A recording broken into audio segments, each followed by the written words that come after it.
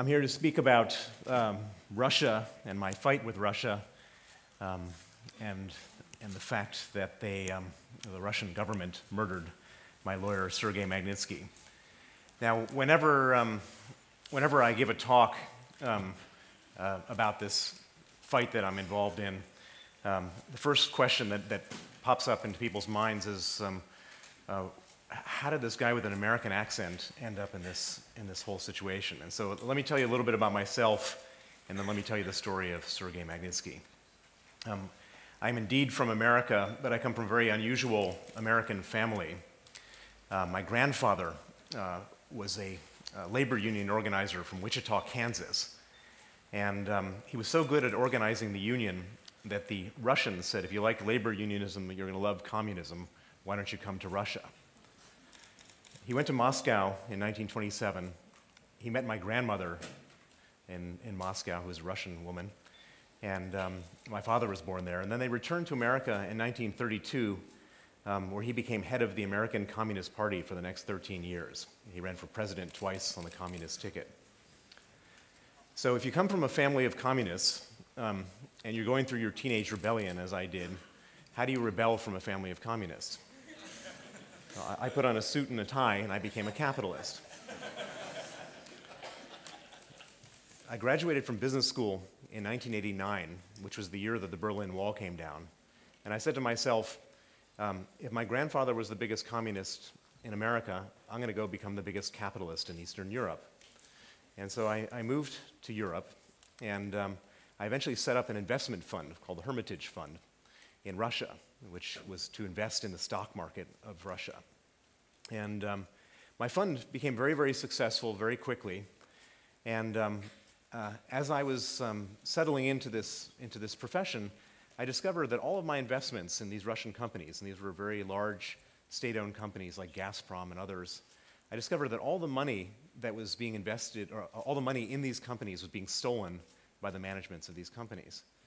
And as an investor, if all the money that you're uh, uh, in your company is being stolen, then it's not a very good thing. And so I said to myself, how am I going to um, fight the stealing that's going on inside these companies?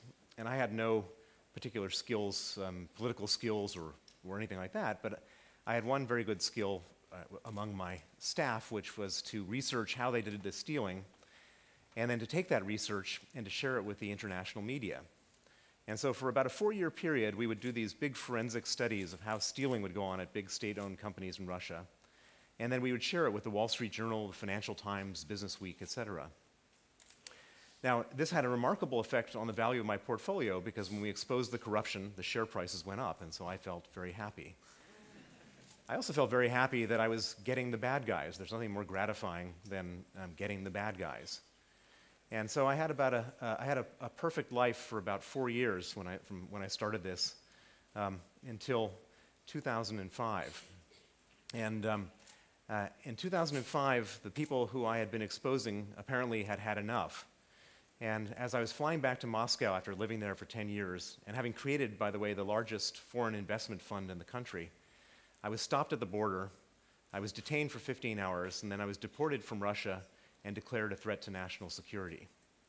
At that point um, is where the terrible story begins, and what I'm about to describe to you is, is truly one of the, the most horrible thing that I could think of to happen. And I'm sure there are other stories here as well like that. Uh, but 18 months after I was expelled, um, 25 police officers raided, the my, raided my offices in Moscow, and 25 more officers raided the office of my American law firm they were looking specifically for the stamps, seals, and certificates for our investment holding companies. They grabbed all these documents, they took them away, and the next thing we knew, we no longer owned our investment holding companies. The police had seized the documents and stolen our investment holding companies. Now, at this point, I, uh, I'm not a lawyer, I'm just a businessman. I went out and hired a team of lawyers. I hired seven lawyers, including a young man named Sergei Magnitsky. He was a 36 year old lawyer from an American law firm and one of the smartest lawyers I knew in Moscow. I asked Sergei to investigate and to figure out what, it, what this was all about. And Sergei went out and investigated, and he came back and he said, um, Not only have these people stolen your companies, but through a very complicated scheme, Um, these people have stolen $230 million of taxes that you paid to the Russian government. They tried to steal your money, they didn't succeed, but they ended up stealing the taxes that you paid to the Russian government. I was, I was amazed that a group of police officers, apparently tax officials, and criminals could steal $230 million from the Russian government. And so we decided that this must be a rogue operation because how could it possibly be authorized to steal government money by government officials? And we figured if we exposed it, if we put it out into the open and we exposed how they went about stealing the money, um, that the good guys would get the bad guys, and that would be the end of the story. And so we filed nine different criminal complaints with all the different law enforcement agencies in Russia. And we thought to ourselves that imminently the SWAT teams and helicopters will be out getting the bad guys. Well, it turned out that there are no good guys in Russia, only bad guys. And instead of the SWAT teams and helicopters going after the bad guys, um, they opened up criminal cases against all seven of our lawyers from four different law firms. Now, I'm trained as a fund manager, not as a soldier, and the, and the idea of putting people in harm's way is something that I don't have the psychological capacity to do. And so I, I immediately asked each one of my lawyers to leave Russia, um, to come to London at my expense, and stay in London at my expense to get out of harm's way. It wasn't an easy conversation to have to ask people from, to leave their own country um, on a moment's notice and to go into exile. But six of my seven lawyers accepted my invitation and came to London. And I would say that they did so under duress. Nobody really wanted to go, and they were very reluctant to do it. But six of the seven lawyers accepted my invitation. The one who didn't was Sergei Magnitsky. He was about a decade younger than the rest.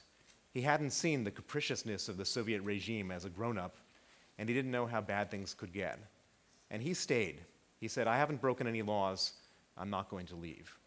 He stayed in Russia, and then he did something remarkably brave, which was in October of 2008, he testified against the police officers who raided our office. He testified against them, providing detailed evidence, basically proving their complicity. Um, and uh, one month after his testimony, on November 24th, 2008, two officers who, were, who had reported to the, one of the people he testified against came to his home at 8 in the morning in front of his wife and two children, arrested Sergei, put him in pretrial detention, and then began to torture him to get him to withdraw his testimony. They put him in cells with 14 inmates and eight beds and left lights on 24 hours a day to impose sleep deprivation. They put him in cells with no heat and no window panes in Moscow in December, so he nearly froze to death. They put him in cells with no toilet just a hole in the floor where the sewage would bubble up.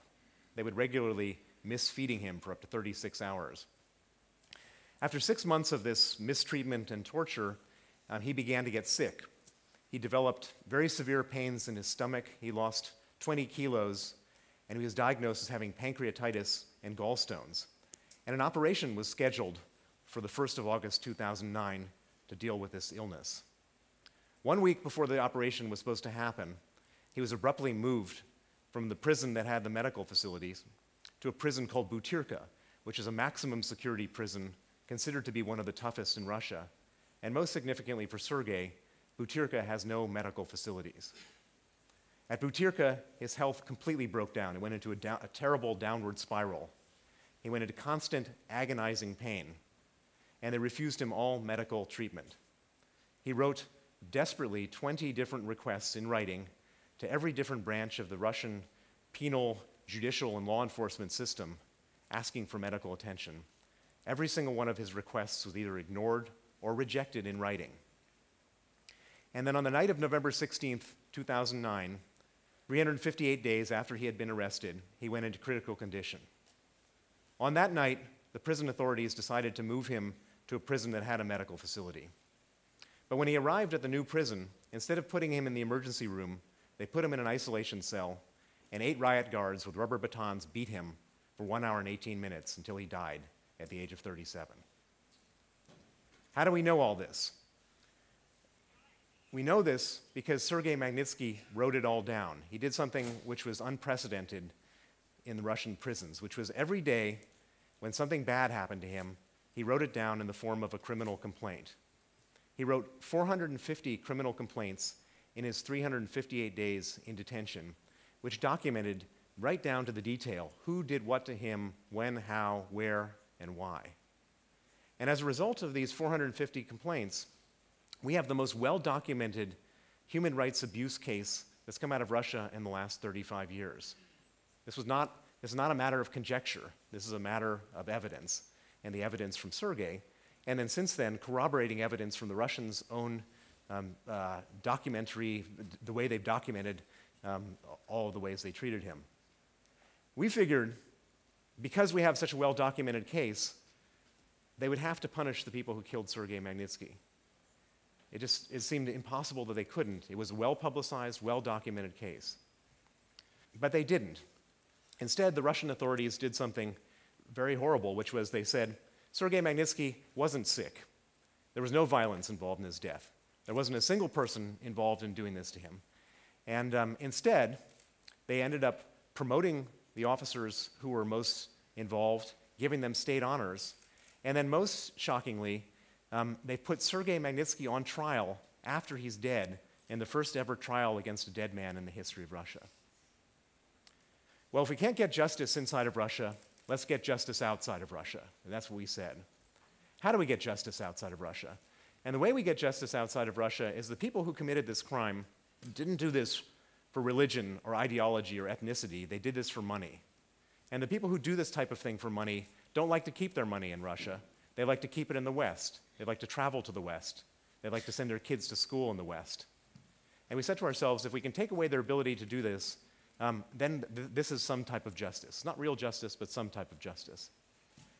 And so I went to Washington, and I ended up getting Senator Cardin, a Democrat from Maryland, and Senator McCain, a Republican from Arizona, to sponsor what's been called, what's been known now as the Magnitsky Act, which imposes visa sanctions and asset freezes on the people who killed Sergei Magnitsky.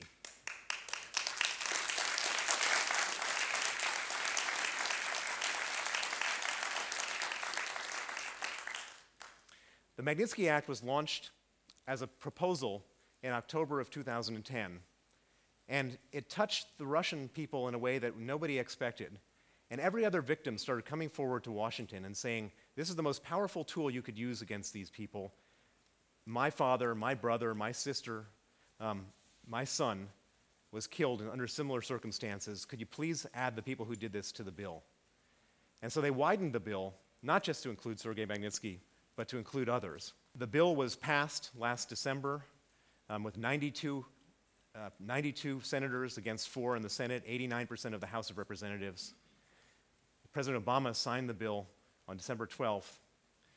And this is now the new technology for fighting human rights abuse targeted sanctions, visas, and freezing their assets.